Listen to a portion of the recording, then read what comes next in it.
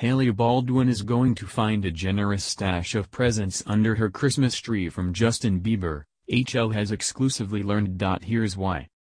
Justin Bieber, 24, is gladly taking over Santa's job this Christmas. With his new title as a married man, the no-brainer singer is excited and happy to spend his first Christmas with Hailey Baldwin, as a married couple, a source close to Justin exclusively tells Hollywood Life. Justin is planning on spoiling Hailey with a ton of romantic gifts. Here's what he has up his tatted sleeves.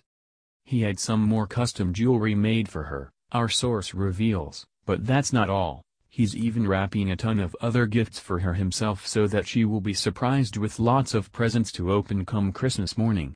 After Justin married the 22-year-old model in a secret courthouse wedding on September 13, He's in a great place and really looking forward to their first romantic Christmas together as husband and wife, our source adds, but points out that they won't be celebrating the day alone, since they'll get together with family and friends for the big holiday.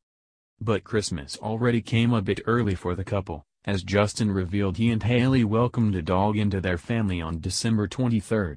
Meet our dogson, the pop star captioned a picture of him and their new puppy, who's adorably named Oscar. Hailey's smitten with the teacup pup, which she's proven with cuddly Instagram story updates since. Although Justin's prepared to spoil, the pressure has already been lifted. His wife even wrote that the puppy was her Christmas baby on Instagram.